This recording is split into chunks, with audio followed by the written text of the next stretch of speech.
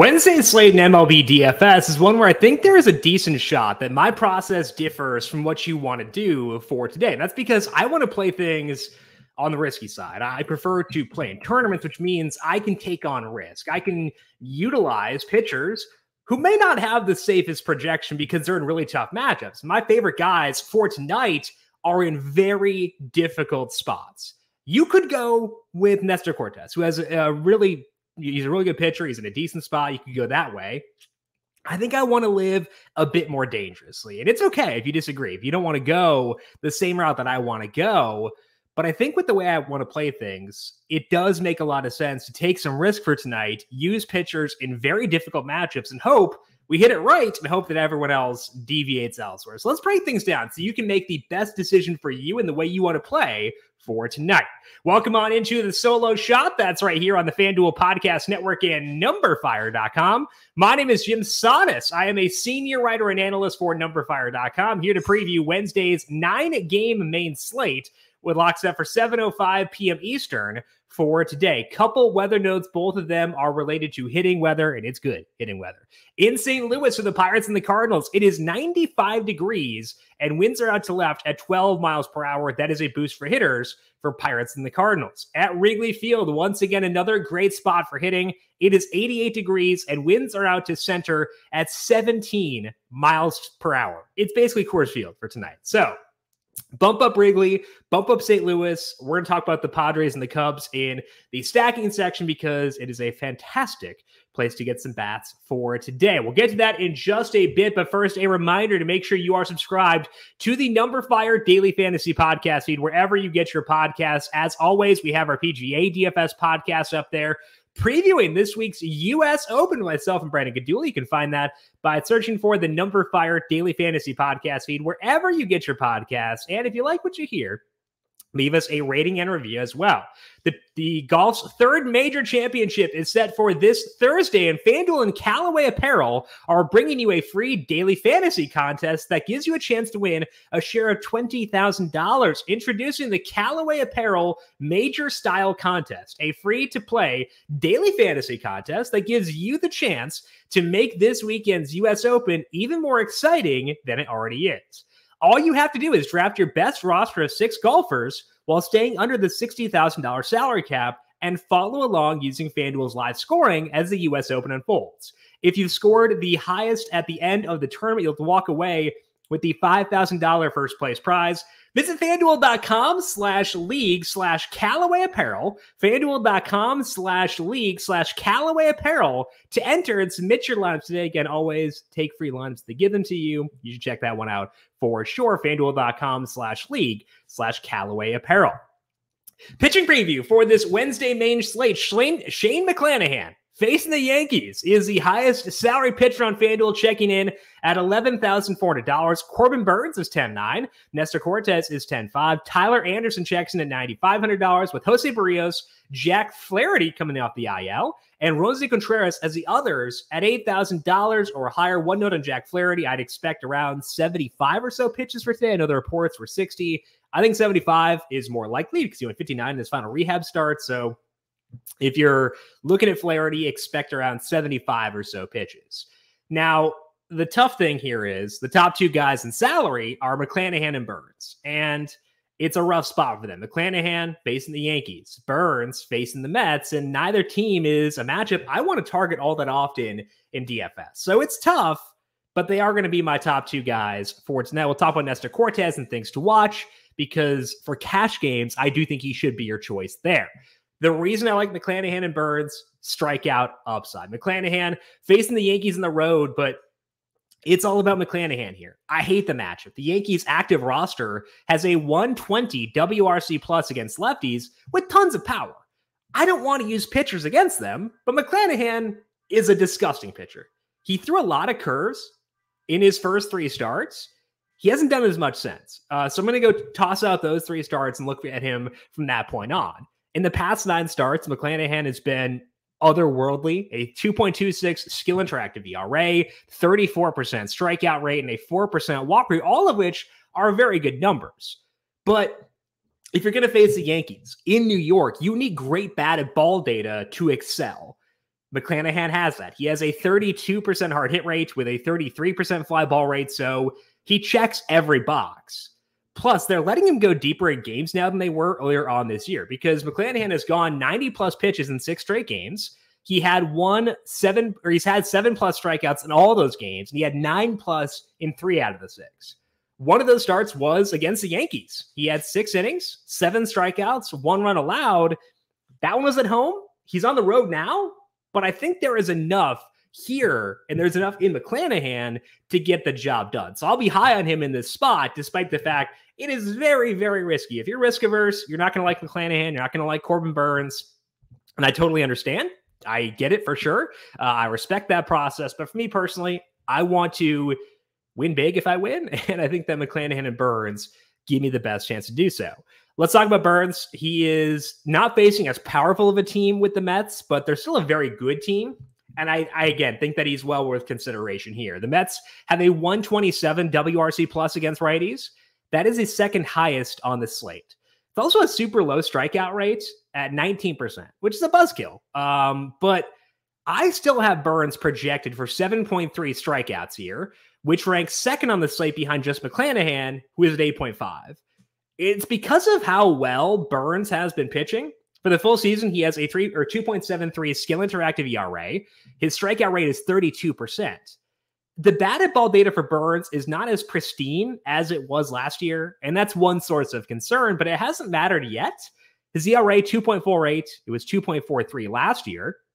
We saw Burnes face another good low strikeout team against righties on the road a couple starts ago. That was against the Cardinals. They're a good low strikeout team, but Burnes had 11 strikeouts across seven shutout innings. He has upside. And yeah, he's had some clunkers recently, but he has a path, an obvious path, a path he has shown to getting you 50, 60 FanDuel points. And I want that upside. So there are blemishes for Burnes for sure, but he will still be high on my list. And I'd put him above Cortes for tournaments. Cortes is the cash game play. And again, we'll talk about him later on. But for tournaments, give me McClanahan, give me Burnes under the hope slash assumption that the matchups drive a lot of people away from using them for tonight. For the value play, it's actually one I like a lot. And I will talk here on the show a lot about how I may not use the value play because I prefer to stick to the studs for today, I will use that guy. And that guy is Spencer Strider at $7,500. I've been skeptical of Strider in his move to the rotation. I actually bet the under on his strikeout prop last week, and he made me look very stupid. But the reasons I was skeptical have shifted. So I am in on him this time. I was wondering if the Braves would let Strider up his pitch count, and they did. He has now gone 72, 87, and 92 pitches. 92 is enough for $7,500.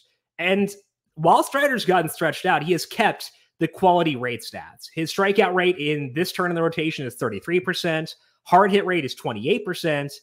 He is still walking too many guys, and it does make his pitch efficiency worse, but it hasn't mattered too much yet because we saw Strider get eight strikeouts last time. He had seven on just 72 pitches in his first start in this stint.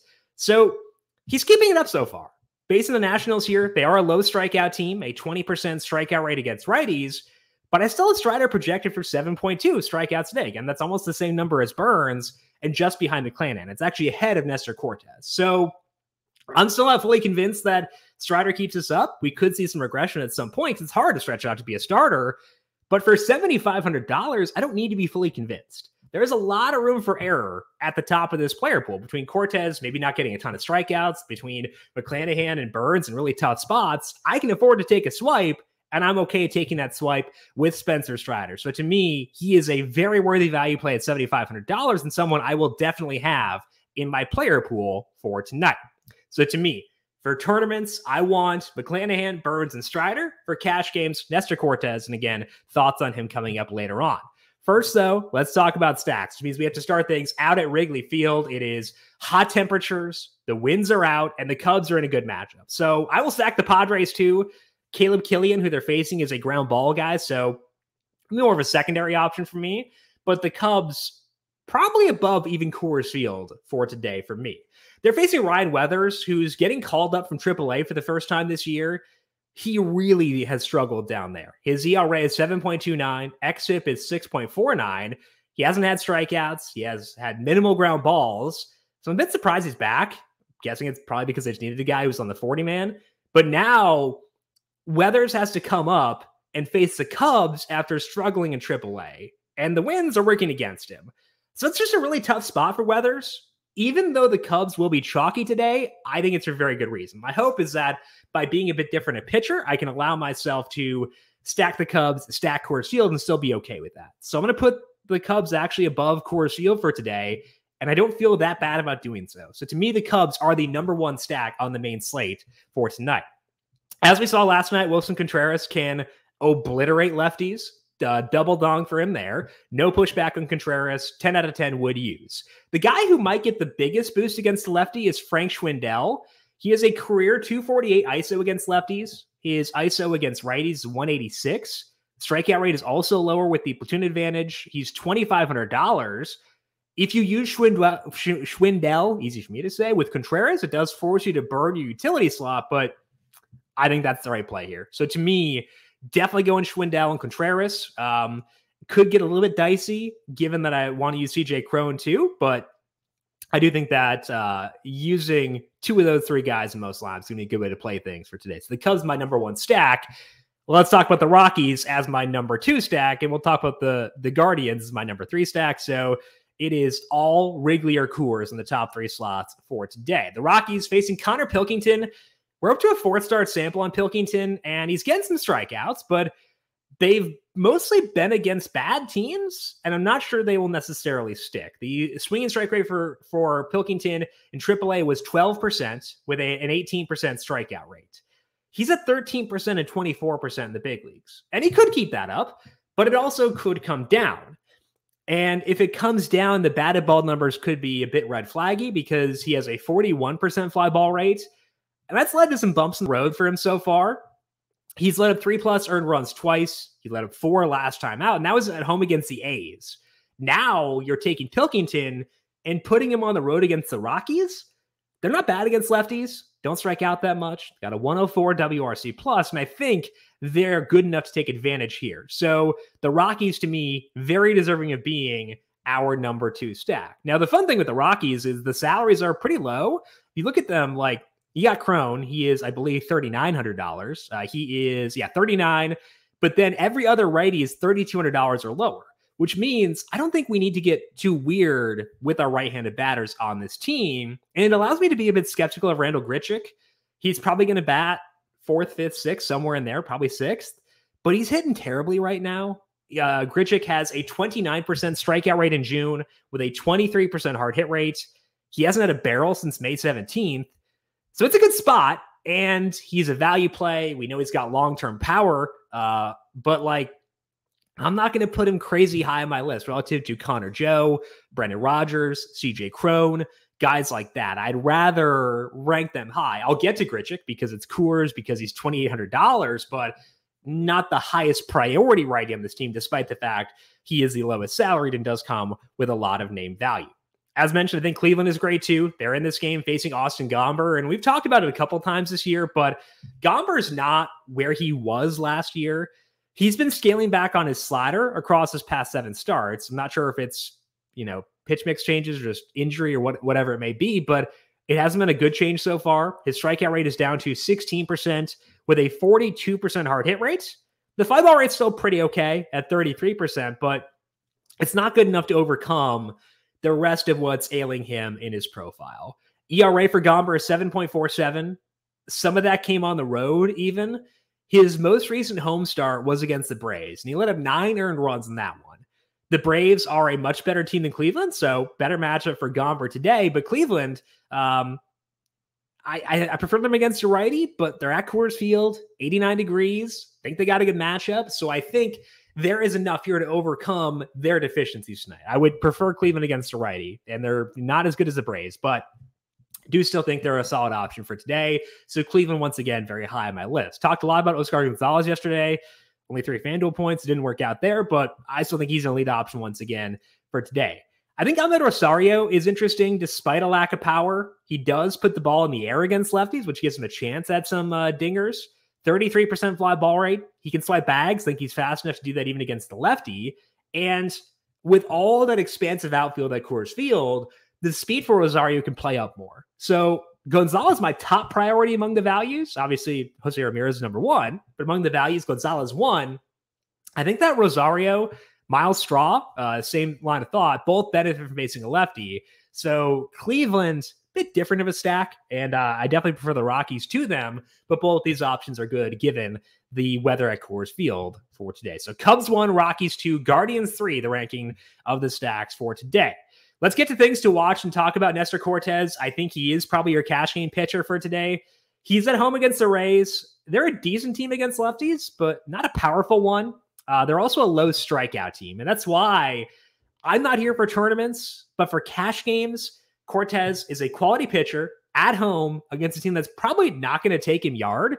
So I like him a lot for cash. I just like the other three more for tournaments. So Cortes probably going to get you seven innings, one or two earned runs, five strikeouts. That's not bad from a pitching perspective for today. So if you want to take the safe route, go Cortes.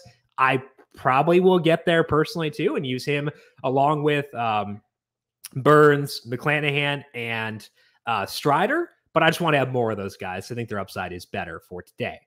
I initially had the Blue Jays in my top three stacks, but then Ryan, I thought it was Joe Musgrove who was going to start for the Padres. So I was like, okay, be a little bit lower on the Cubs. But then it's Ryan Weathers, uh, the Wrigley weather being what it was bumped the Jays out of the top three. But I still think they're an elite stack.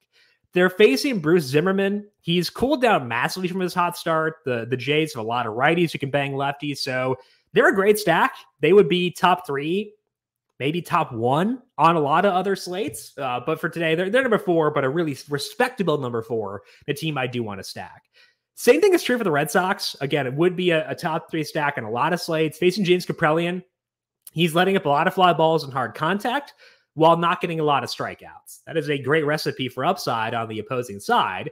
I think the Jays are pretty comfortably ahead of the Red Sox. So the Jays four, Red Sox five, but the Red Sox not bad by any means. On a lot of slates, the Jays could be the top stack. I think the Red Sox are more of like a two or three on a lot of slates. Just a, a, good slate for stacking overall for tonight. Didn't talk about some other teams that I think are viable too, um, like the Dodgers against Reid Detmers. I could definitely see myself stacking there.